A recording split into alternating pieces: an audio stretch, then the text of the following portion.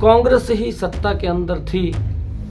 कांग्रेस के ही यूपीए के लोगों ने, सरकार ने सुप्रीम कोर्ट के अंदर एक एफिडेविट दे दिया था कि ना राम सेतु है, राम काल्पनिक है। इस प्रकार का एफिडेविट अगर कोई कर रहा है तो वही लोग राजनीति कर रहे हैं। और मैं यही कहूँगा कि भगवान श्री राम उनको भी सद्बुद्धि दे और वो भी ठीक रास्ते पर चले। कांग्रेस के राम मंदिर की प्राण प्रतिष्ठा निमंत्रण को ठुकराने के बाद बराड़ा पहुँचे भाजपा प्रदेश अध्यक्ष नायाब सिंह सैनी ने कांग्रेस के लिए भगवान राम से दुआएँ मांगी हैं। उन्होंने कहा कि भगवान श्री राम कांग्रेस को सद्बुद्धि दें ताकि वो सही रास्ते पर चल सकें। देखिए, ये दुर्भाग्यपूर्ण है।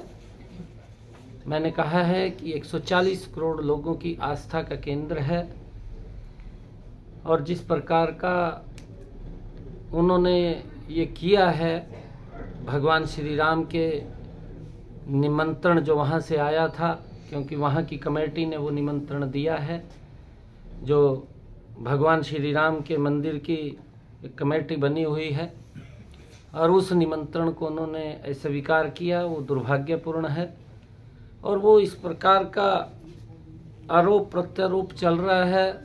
हम इस बात को बार बार बोलते हैं, हम इस बात को बार बार कहते हैं कि इस दलगत राजनीति से ऊपर उठ करके हमने अपनी जो धार्मिक हमारी संस्कृति है, उसका संरक्षण करना चाहिए।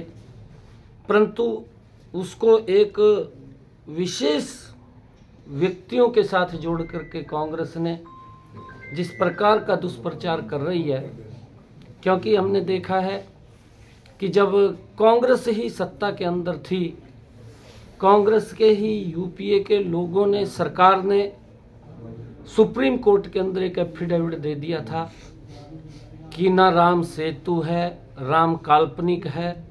इस प्रकार का एफिडेविट अगर राजनीति कोई कर रहा है तो वही लोग राजनीति कर रहे हैं।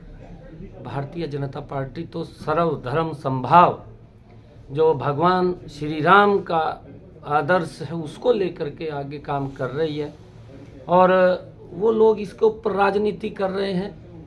वो कांग्रेस के लोगों ने अभी पीछे देखा भी है, जब भगवान श्री राम के मंदिर का फैसला आना था। वो कांग्रेस के ही बड़े नेता थे, जो चीफ जस्टिस ऑफ़ इंडिया के सामने खड़े हो गए थे। छप्पन एडवोकेट्स को लेकर के कि भगवान राम के मंदिर के ऊपर फैसला मत सुनाना, नहीं तो देश के अंदर एक अलग का वातावरण पैदा हो जाएगा, लोगों में दंगे हो जाएँगे। इस प्रकार की भाषा कांग्रेस के बड़े नेताओं ने चीफ जस्टिस ऑफ़ इंडिया के सामने रखी। परंतु माननीय सर्वोच्च न्यायालय ने देश के 140 करोड़ लोगों की भावनाओं को देखते हुए वो फैसला दिया। आज भव्य मंदिर का निर्माण हो रहा है। 140 करोड़ लोगों की भावनाओं की, आस्थाओं का केंद्र बिंदु भगवान श्री राम है। परंतु इस प्रकार की अगर वो राजनीति करते हैं, वो दुर्भाग्यपूर्ण है। हमने इस दलगत राजनीति से ऊपर उठ करके काम करना चाहिए। और मैं यही कहूँगा कि भगवान श्री राम उनको भी सद्बुद्धि दे और वो भी ठीक रास्ते पर चले। बता दें कि 22 जनवरी को अयोध्या में राम मंदिर में आयोजित भव्य कार्यक्रम से पहले प्रदेश के अलग अलग धार्मिक स्थलों में स्वच्छता अभियान शुरू किया गया है। इसकी शुरुआत जिला अम्बाला के मुलाना स्थित सिरसगढ़ में गुरु रविदास आश्रम से भाजपा के प्रदेश अध्यक्ष नायाब सैनी ने की। वहीं उन्होंने कहा कि 500 सालों के इंतज़ार के बाद अयोध्या में श्री राम जन्मभूमि पर प्रभु श्री राम के भव्य मंदिर बना, जहाँ 22 जनवरी रामलला प्राण प्रतिष्ठा होगी। और ये क्षण हम सभी देशवासियों के लिए गौरव का क्षण है। बराड़ा से अनिल कुमार शर्मा की रिपोर्ट।